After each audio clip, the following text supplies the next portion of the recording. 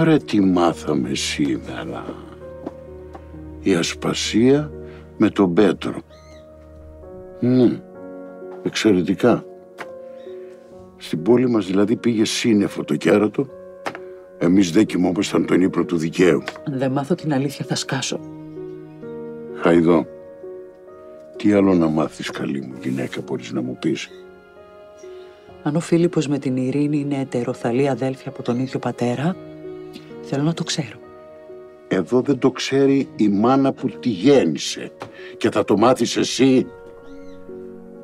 Χαϊδό, ο Φίλιππος δεν πρέπει να μάθει τίποτα από αυτά. Αρκετά έχει πέσει στα μάτια του ο πατέρας του.